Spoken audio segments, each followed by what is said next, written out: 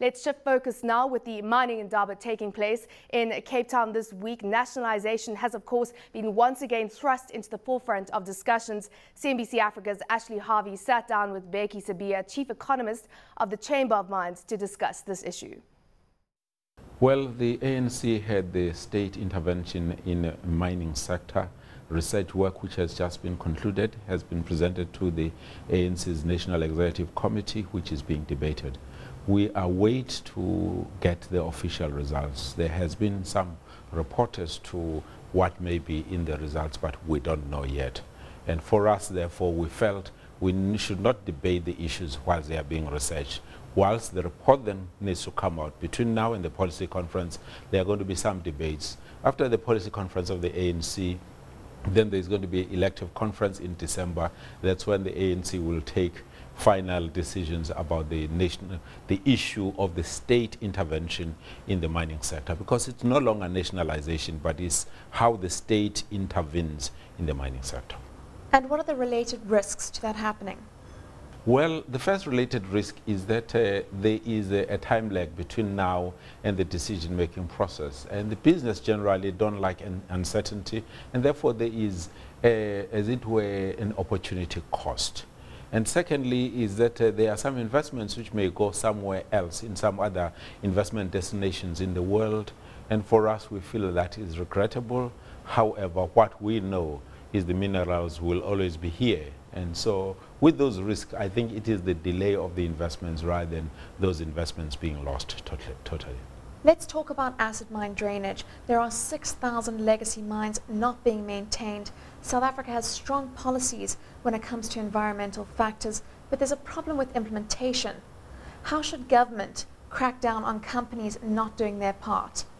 If one looks at uh, acid mine drainage, probably the upward of 90% of it, it comes from the orphaned ownerless and derelict mines. Those mines were owned by companies which closed the mines following the mine closure procedures at that time, and then they left.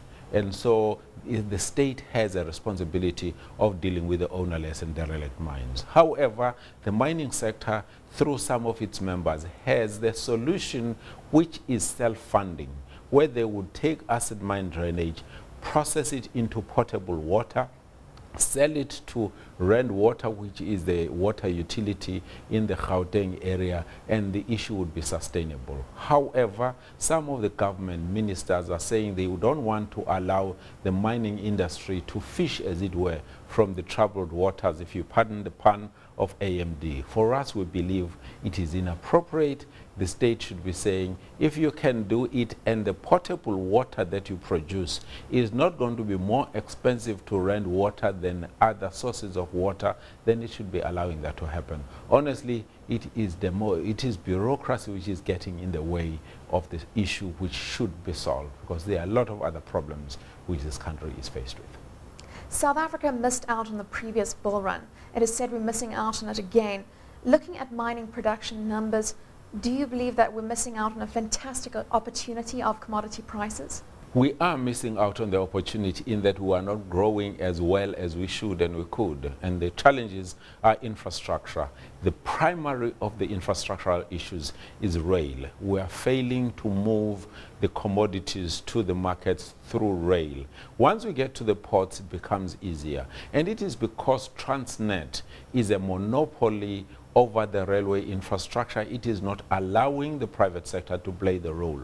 When one looks at other mining jurisdictions, Australia, for instance, there is limited allowance of the mining houses to operate the rolling stock. While the state owns the permanent way or the railway line, then in terms of the rolling stock, it's owned and operated by the private sector. The private sector worldwide is proven to be efficient and for us same here. So we're missing the opportunity. We're engaging with the government and saying, grant us similar opportunities like other mining jurisdictions so that we operate well. Electricity to a less extent, but water is a challenge as well because the water use licenses are not granted as they could and should.